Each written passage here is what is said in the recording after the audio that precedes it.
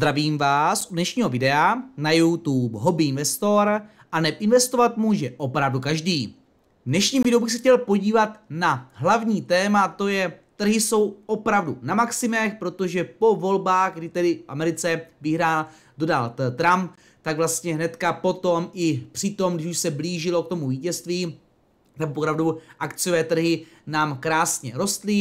Ne samozřejmě všechny jednotlivé tituly, nebo tedy eh, segmenty, nebo sektory, ale jako trh celkově tak opravdu krásně a ještě teďka tady máme ty dozvuky toho pěkného růstu. Ještě včera tady byl růst o nějaké 1%, co se týká eh, Nasdaqu, S&P 500 kolem 0,5, co se týká mě, já jsem vlastně provedl nákup toho ETFK Eh, za to, co jsem měl na spořáku, na tu hypotéku, tak taky eh, krásný nárůst, pondělí jsem nakoupil, dokonce nám oslabila i velice pěkně koruna, takže kdybych chtěl teďka vybírat právě ty prostředky, tak jsem zhodnotil nejenom na tom růstu, ale i na oslabení koruny a posílení dolaru, takže opravdu velice pěkně jsme na maximech, Uvidíme tedy, co v současné době vlastně máme dělat, na to se podíváme právě v dnešním videu. Mám tady i nějaké další zajímavé články a informace, například i o společnosti, kterou teďka sleduji. Je to úplně nová společnost, kterou bych možná přidal do svého portfolia, protože v poslední době nám pěkně klesá, za nějaký měsíc minus o nějakých 10%. Mrkneme se na společnost Gevorkian, která nám sdělala velice zajímavou zprávu, uvidíme, zda projde, ale podíváme se na to, protože cena na tuto zprávu reagovala pěkným růstem o nějakých 5 až 6 takže i na této společnosti se dá pěkně vydělat za nějakou krátkou dobu. A potom se samozřejmě podíváme na mé poslední nákupy v měsíci listopadu. Tento měsíc jsem něco nastavil, něco jsem nakoupil a samozřejmě se mrkneme na to, co v současné době stále si myslím, že ještě za rozumnou cenu a stojí za to minimálně to sledovat a udělat si třeba analýzu a mít to připraveno na watchlistu. Doufám, že se vám tedy toto video bude líbit. Pokud ano, tak rozhodně nezapomeňte dát like. Pokud ještě nemáte odběr, tak si prosím nezapomeňte zakliknout odběr a půjdeme na dnešní video. Začneme tímto článkem trošičku tedy starším z dílny pana Kiyosakiho, který varuje nebo varoval, že rostoucí cena zlata, teď se nám to zastavilo, teď mírně klesá, nemusí být nutně dobrým znamením. On tedy říká, že právě i zlato obecně, pokud roste, tak spíše se očekává, že nastane nějaký problém, recese, případně něco úplně jiného, kde vlastně Kiyosaki je i zastáncem Bitcoinu, který taky velice pěkně po vlastně volbách nebo při volbách pana eh, Trumpa rostl, teď nám možná trošičku klesá, kde tedy cena zlata se vlastně přiblížila nebo té úrovni eh, přes 2000 dolarů. Kiyosaki svůj varovný výhled vydal s tím, že nedávný růst zlata nemusí vždy svědčit o ekonomickém zdraví. Já bych řekl, že právě to je spíše na tu stránku druhou. Mluví naopak o možných turbulentních turbulencích, které nás mohou eh, čekat. Hrozí pokles akciových trhů, to je ta otázka. Podle něj se vysoké ceny zlata shodují se zvýšenou nejistou investorů. Uvidíme, eh, stále ta investota, pardon, nejistota tady je, stále ta Inflace je o něco zvýšená a jsou tady nějaké indikátory, případně i více hnání peněz do ekonomiky, že by se zase trošičku mohla ta inflace eh, rozpoutat a utrhnout. Ze řetězu si myslím, že už ne na úrovně vysoké, jak jsme viděli, ale nějaká zvýšená úroveň tady klidně může být, což zase nám ukáže, že vlastně Fed by neměla tak eh, razantně snižovat třeba ty úrokové sazby. Tento vývoj by podle něj mohl předznamenat hrozící pokles akciových trhů. Já si myslím, že tak hrozné by to být nemuselo. Pokud ano, samozřejmě jsme rádi, nakupujeme jako dlouhodobí investoři ve slevách. Je to tedy scénář, před kterým v posledních letech opakovaně varoval a vidíte, ano, nějaké menší korekce tam byly, ale teď jsme vlastně, co se týká trhů na maximech. Kiyosaki dále zkoumal možný dopad výrazného krachu akciového trhu na různé demografické ukazatele, naznačil, že takový pokles by mohl mít dopad hlavně na jednotlivce, kteří nedrží aktiva, jako je právě zlato, stříbro a bitcoin, která jsou podle Kiyosakiho v době ekonomické nestability mimořádně cená. To právě vidíme v současné době, kdy ten bitcoin nám krásně vyrostl, Zlato právě taky, stříbro taky, takže já si myslím, že každý by měl být aspoň částečně diverzifikován do těchto tří aktiv, buď třeba jenom zlato, nebo jenom stříbro. Bitcoin bych opravdu dával do malého zastoupení, třeba procento, 2% do svého portfolia, více ne, jako na takovou sázku, kdy opravdu pokud to pěkně vyroste, můžu i na tom malém procentu ze svého portfolia udělat opravdu 100 násobné zhodnocení. Můžu se sice tlouct do hlavy, že se mohl zainvestovat více, ale to riziko je tam samozřejmě vyšší. Můžete si přečíst tento článek, zastavit si na chvilku video, my půjdeme dále a to novým podcastem ve Vatě Nekoupíš, zaplatíš s paní Píchovou, analytička popisuje, jak funguje nulový poplatek, podívá se tomto podcastu na i naše obchodníky, robo advisory, jako je Portu a tak dále, Amundi, další Patrie, ale potom samozřejmě i na ty zahraniční, jako je XTV, eToro a takové, takže rozhodně doporučuji si poslechnout, do z vás je spíše začínajícím investorem a ještě neví vlastně, jak to, co se týká těchto obchodníků vlastně je, že se vlastně ty naše investice drží úplně na oddělených účtech a je důležité to samozřejmě vědět. Teď bych se chtěl podívat na tu společnost, která se mi líbí a to mě ukázalo v tomto článku z časopisu Forbes, kde tedy, jak je vidět, pět klíčových důvodů, proč investovat do průmyslových nemovitostí, v tomto případě buď do nemovitostních fondů, které právě mají toto pod svou zprávou, nebo právě do REIT společností, které tyto nemovitosti nakupují. První z nich je stabilní příjem s ochranou proti inflaci, protože tyto nemovitosti opravdu si pronajímají společnosti na více let, plus tam bývá samozřejmě inflační doložka, tedy růst nájmu jde tedy eh, s inflací, dále silný růst na středoevropských trzích, kde tedy průmyslové nemovitosti hrají v moderní ekonomice klíčovou roli. Stále potřebujeme, je to vidět na těch e-shopech, ale samozřejmě i dalších částech a segmentech, je potřeba ty sklady mít, aby mohly prostě firmy dále vyrábět a někde ty produkty své uskladnit, takže ta poptávka tady rozhodně věřím, že bude. Dále odolnost vůči výkyvům trhu, kde tedy na rozdíl od luxusních maloobchodních nebo kancelářských prostor, které mohou během ekonomických poklesů vykazovat značné problémy, mají právě průmyslové nemovitosti tendenci zůstávat stabilní a držet se přibližně na stejné úrovni nebo mírně klesat. Čtvrtý bod, vyšší výnosy díky profesionální zprávě fondů, to se jedná spíše o fondech, samozřejmě pokud investujete do REIT společnosti, tak tato společnost vlastně má takový svůj fond, protože investuje buď do nových nemovitostí, postaví nebo nakoupí nějakou starší nemovitost, Výhody tedy kolektivního investování do průmyslových nemovitostí prostřednictvím například fondu výrazně převažují nad individuálními investicemi, kde tedy toto je ta dobrá další výhoda. Poslední méně starostí a vyšší návratnost investice do průmyslových nemovitostí eliminují mnoho rizik spojených s investicemi do rezidenčních nebo maloobchodních nemovitostí. Samozřejmě jsou tam i vyšší rizika, minimalizují ale výkyvy trhu a představují solidní doplněk investorského portfolia s konzistentními výnosy. A o kterou společnost se jedná? Jedná se o českou společnost, ale s domicientem v Nizozemsku. Jedná se o společnost CTP, která dokonce i teďka 6.11. nám reportovala své výsledky, která znovu potvrzuje roční výhled zisku na akci. Čistý příjem z nájmu meziročně vzrostl o nějakých skoro 19% a výhled společnost potvrdila. Čistý příjem nějakých 475 milionů euro, o hodně lepší než v devátém nebo za 9 měsíců v roce 2023. Čistý zisk taky lepší jenom o něco a očištěný zisk na akcí 0,6 euro na akci bylo 0,54 minulý rok. Výhled společnost znovu potvrdila výhled pro 2024 na úrovni očištěného zisku mezi 0,8 až 0,82. Komentář CEO za první 9 měsíců roku 2024 jsme pronajali 1,5 milionu metrů čtverečních, což je o 4% více než ve stejném období loňského roku. To ilustruje pokračující silnou poptávku ve střední a východní Evropě a silnou poptávku regionu zaměřenou na podnikání v Evropě, uvedl generální ředitel.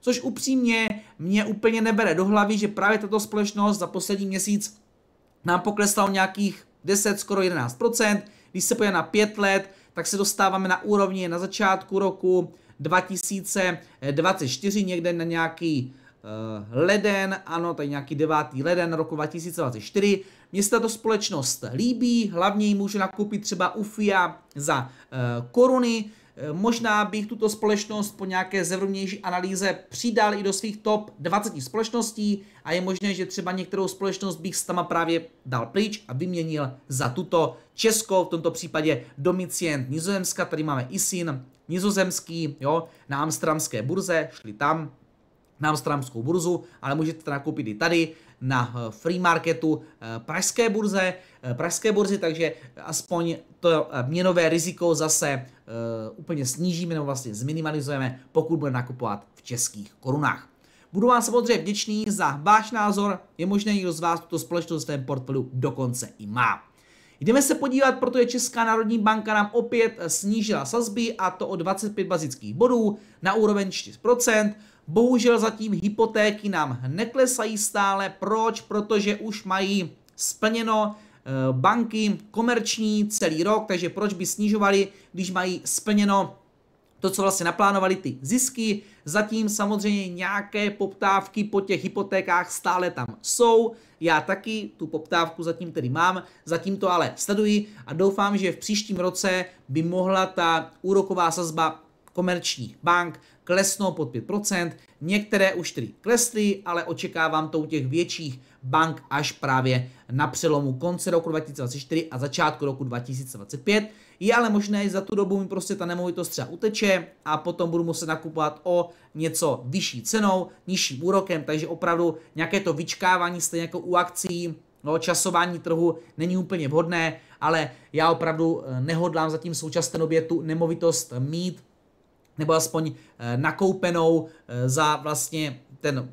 vklad počáteční, za tu jistinu, co vlastně eh, chtějí a mít ji vlastně rozestavenou skoro vlastně přes rok, jo, rok a půl, bo teď už to bude míň, teď to budou nějaké no, rok a půl, stále to tak vychází zatím rok a půl. Říkám maximálně, kdyby to bylo rok, takže budu ji sledovat v březnu, dubnu roku 2025. Pokud tam zůstane, tak je velmi pravděpodobné, že minimálně si ji zarezervují, bylo mi řečeno, že ta rezervace vydrží třeba až jeden měsíc, by mohla vydržet, jeden měsíc bez nějaké penalizace, mi řekl ten vlastně realitní makléř, možná maximálně, nebo tak jako třeba dva týdny, tři týdny by mi mohl podržet, to bych taky mohl aspoň trošičku ještě si to oddálit, dopředu už bych si připravil tu hypotéku a to už bych byl ochotný eh, do té nemovitosti potom jít.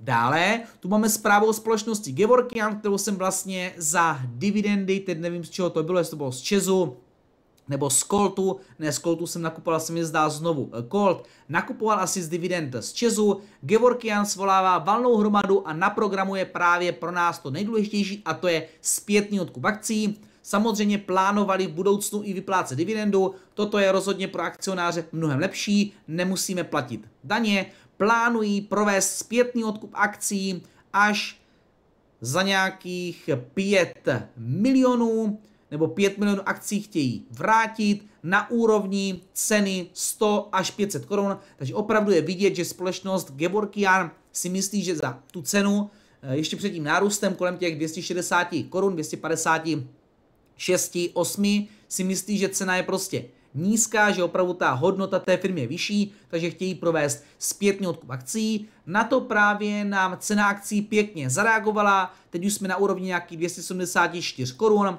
a tady opravdu je vidět ten krásný e, poskočení z úrovně nějakých 260 korun až na úroveň nějakých 274 korun, takže pěkné, pěkný posun plus 6% za posledních pět dnů o nějakých 5% za ten měsíc, o nějakých 6%, tedy jsem rád, že jsem vlastně na té úrovni nějakých, teď se jsem jistý, za kolik jsem eh, to eh, naposledy nakupoval, ani nevím, kolik byla ta IPO, vlastně když dám 5 let, byla IPO nějakých 248, myslím, já jsem to nakupoval za 252 nebo 250 korun, asi 252, takže rozhodně eh, jsem rád, že jsem nakoupil, jsem sice méně, ale nakoupil jsem pouze z dividend. Dále, co se stalo, včera nebo ve středu, teď si nejsem jistý, rozhodoval Fed o sazbách, taky eh, nastalo eh, snížení a to z 5 na 4,75, takže taky nastalo snížení úrokových sazeb o 25 bazických bodů, stejně tak jako Česká národní banka, takže na to samozřejmě taky částečně trhy reagovaly, i když už to v tom trhu je vlastně zaceněno. Je tedy otázka, zda ještě v tom posledním zasedání, co bude, dojde ještě k poslednímu snížení sazeb v roce 2024. Zatím trhy si nejsou jisté, zda k tomu dojde nebo nedojde. Uvidíme, jak dopadnou data z trhu práce, inflace a tak dále. Samozřejmě Fed prostě vyčkává a uvidí, zase nechce úplně eh, tu ekonomiku přidusit, proto to eh, snížení sazeb eh, nastalo i teďka. I když třeba některé ty indikátory nebyly úplně lichotivé, inflace nám postupně klesá, i když stále jsme na těch úrovních, co by samozřejmě Fed chtěl. A teď se budeme podívat na mé poslední nákupy a samozřejmě hlavně na to, co by v současné době šlo ještě zvažovat a sledovat, co si myslím, že ještě tak zajímavě nevyrostlo, jako třeba společnost Tesla, která už je přes, eh, teďka nevím, podíváme se na to, jestli 300 eh, dolarů, zase dneska jsem viděl, že nám roste o nějakých 7%, takže jdeme se na to podívat. Když se podíváme na dnešní pohyby u brokera eToro, jsem tady v mírném plusu, plus 0,18, ale vidíme tady ten posun z úrovní 20 657 až na úroveň 21 000 skoro 600 dolarů. Opravdu mě to pěkně poskočilo. Věřím, že i vám eh, to zhodnocení velice pěkně eh, poskočilo. Hotovost, co mám připravenou, pouze 6 dolarů z dividend. Kapitálové zhodnocení přes 3000 dolarů, 3608 dolarů. Velcí hýbatele dneska vidíme Medical Properties plus skoro 7%, Tesla plus skoro taky 7, 6, SoFi plus 3, Avalon Communities, REIT plus 2,6 a DLR další REIT plus 2%. Do mínusu Alibaba, proti tomu právě Trump vlastně versus Čína, ty cla, minus skoro 6%, Southern Copper Corporation minus skoro 6, NIO minus 5, Rio Tinto minus skoro 5 a uh, Ternium minus skoro 4, takže vidíme, že tady jsou nějací uh, těžaři a potom dvě čínské společnosti. Když se podíváme na mé portfolio, mé pokyny, když straně postupně eh, podíváme, já jsem vlastně něco nastavil, takže to se mi zobchodovalo. Nastavil jsem totiž Očko a PepsiCo, protože PepsiCo nám eh, klesalo. Jak jsem říkal, některé společnosti viděli jsme na Finvizu třeba na té mapě opravdu většina z indexu S&P 500 po volbách opravdu roste, ale některé, třeba právě PepsiCo, nějaké REITy klesaly, tak jsem se odhodlal a trošičku jsem nakoupil za 10 dolarů PepsiCo na úrovni 164 dolarů, mírný plus a Očko Realty Income taky za 10 dolarů, mírný plus, plus 1,6%. Co nám vyklesalo, Rio Tinto, když jsem nakupoval poslední nákup, takže zase je za zvážení, že bych třeba nakoupil, až mi přijdou dividendy, pokud se ta úroveň pod 64 dolarů udrží, uvidíme, eh, jak to eh, bude.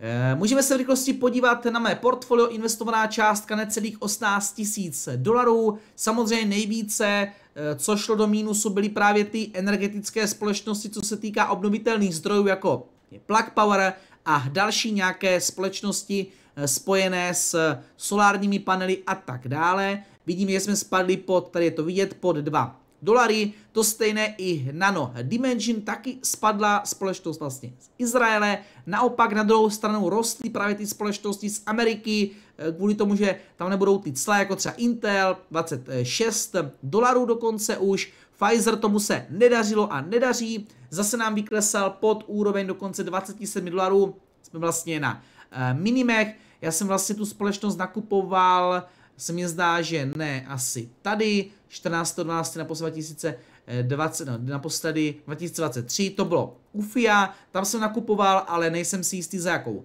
eh, cenu. Alibaba vidíme, že je zase eh, v mínusu kolem těch 20, pardon, 94 dolarů, tam by třeba šlo eh, zvážit nákup. Vidíme, že Renewables Infrastructure právě vyklesala ze 100 pencí zase pod 100, co tu máme dále. Realtinkam se nám trošičku otáčí, Rio Tinto nám právě dneska klesá, Disney eh, v pořádku, ale právě klesla i Unilever zase spojeném, eh, spojená s těmi možnými cly z Evropy prostě zase do Ameriky, nějaké produkty tam prostě prodávat, ale zase říkám, ty americké společnosti nám krásně rostly SoFi dokonce na úrovni přes 12 dolarů, zhodnocení 63%, Tesla 314, 315 dolarů, zhodnocení 72%, upřímně dost mě eh, svědí prst, abych tu společnost Tesla fakt prodal, protože to zhodnocení a to přepálení je už opravdu hodně vysoké. Zatím tedy budu vyčkávat a je možné, že bych ji třeba prodal až třeba na začátku příštího roku, i když by to stále šlo, protože uh, myslím si, že 730 uh, eh, dolarů plus tedy to zhodnocení dalších 500, to už máme vlastně krásných 1200 dolarů, 1200 dolarů, jo, krásné, co bych mohl někam jinam zainvestovat, ale zatím to tedy nechává, dneska prostě Tesla zase roste. Trošičku nám klesá Ford, byl na úrovni 11%, banky krásně rostly jako Wells Fargo, Bank of America a tak dále, i Exxon, Aflac pěkně, REITy nám trošičku klesaly. Co máme za nějaké zprávy? Tesla, že nám roste, Alibaba zase klesá, to je vlastně všechno. Kdo z vás by měl zájem Eh, vlastně investovat eh, přes broukra eToro, tak dole pod videem máte zvací odkaz, pokud zainvestujete a použijete můj odkaz, tak já získám samozřejmě nějakou odměnu, takže pokud ještě broukra nemáte, můžete klidně využít i broukra eToro. Jdeme se podívat, jak se dneska daří různým ETF-kům. Já jsem právě nakoupil to ETF MSCI World a jsme vlastně zase úplně na maximech, nebo skoro na maximech. Dneska zase půl procenta do plusu, což je dobře. To je tady, když se trošičku nedaří Americe, zase třeba se tam daří Japonsku nebo Evropě nebo Kanadě, něčemu jinému a i tak to je třeba do plusu. ETF na Indii nám zase dneska klesá, vidíme, jdeme z těch maxim trošičku níže.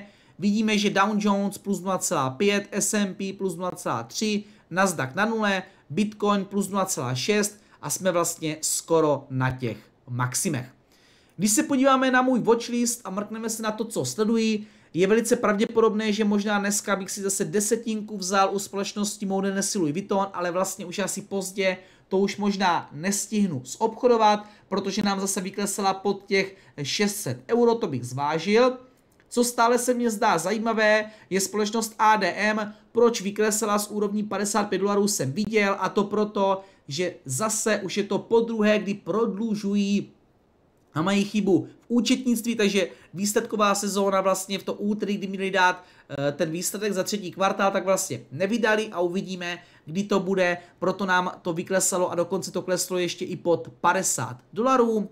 Barigol nám mírně klesá o procento, zlato ETF na stříbro minus 2%, ASML taky klesá, ale tam bych chtěl ještě chviličku eh, vyčkat, protože za přibližně podobnou cenu jsem nakupoval, takže by to chtělo ještě trošičku, aby to šlo eh, dolů. Society General mírný pokles o procento, vidím, že Alphabet nám klesá, ale jsme vysoko 180 dolarů. Kdo by měl zájem, tak už jsem i eh, dal na Twitter odkazy s videí na výsledky společnosti. Samozřejmě jsou to Eh, části placené, protože eh, ty videa nám výjdou eh, později, takže kdo by měl zájem na stránce Buy Me Coffee, můžete si koupit a podívat se na to už s předstihem. Pfizer dneska opravdu hodně klesá, minus 2,6.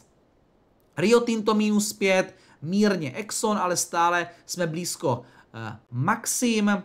Berkshire mírný plus, co to máme dále, Avalon Bay Communities jsme viděli, Plug minus 4% skoro, Nano Dimension minus 3, NIOS jsme viděli dokonce Deer minus 3%, Meta minus procento, Alibaba minus skoro 6, SoFi plus ty 4, Begon Scotia je blízko Maxim. Takže co bych v současné době dělal já? Ano, rozhodně jsme na maximech, ale rozhodně se nevyplácí vyčkávat a časovat trh pokud nemáte nějakou třeba vybudovanou rezervu na to, kdyby dostali se na scénu i nějaké mírné třeba korekce u jednotlivých titulů nebo obecně u trhů, tak třeba bych si část, třeba půlku z toho, co zainvestujete nebo máte v plánu zainvestovat, bych si dal do nějaké rezervy, připravené nákupy, jako takové v úvozovkách malé časování trhu na spořáku a tu druhou polovinu bych rozhodně zainvestoval, buď do jednotlivého titulu nebo do ETF, podle toho, jaká je samozřejmě, samozřejmě vaše strategie, protože už několikrát jsem tady ukazoval tu známou grafiku, pokud nejste v těch nejlepších sedmi dnech, tak opravdu ztrácíte opravdu velké zhodnocení. To je tedy z dnešního videa všechno. Doufám, že se vám toto video líbilo. Pokud ano, tak rozhodně nezapomeňte dát like. Tím tento kanál podpoříte, moc vám za to děkuji. Každý like mi totiž moc pomůže, protože YouTube algoritmus bude potom víc nabízet toto video novým sledujícím. Pokud máte jakýkoliv dotaz, rozhodně napište dole pod video do komentáře.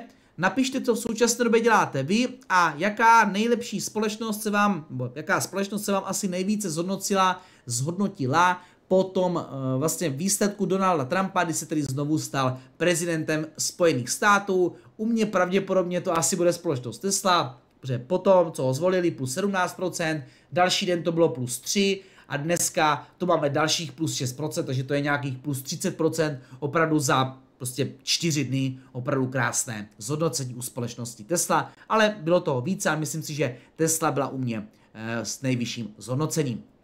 Pokud jste na tomto kanále nový, případně tento kanál už delší dobu sledujete, ale ještě nemáte odběr, tak si prosím nezapomeňte zakliknout odběr, ať vám uteče další nové video. Stále vás tedy hodně, co tento kanál sledujete, na což vám moc děkuji, ale ještě nemáte odběr, tak si ho prosím nezapomeňte zakliknout. Kdo by měl zájem, může si tam zakliknout i zvoneček, tím dostanete od YouTube upozornění, že je tady nové video. To je tedy z dnešního videa všechno, mějte se hezky a budu se těšit dalšího videa. Naschledanou. There's a company behind every stock. If a company does well, the stock does well. It's not that complicated. People get too carried away. And first of all, they try and predict the stock market. That is a total waste of time. No one can predict the stock market. When I own auto stocks, I want to know what's happening to used car prices. When used car prices are going up, it's a very good indicator. When I own chemical stocks, I want to know what's happening to the price of ethylene. These are facts.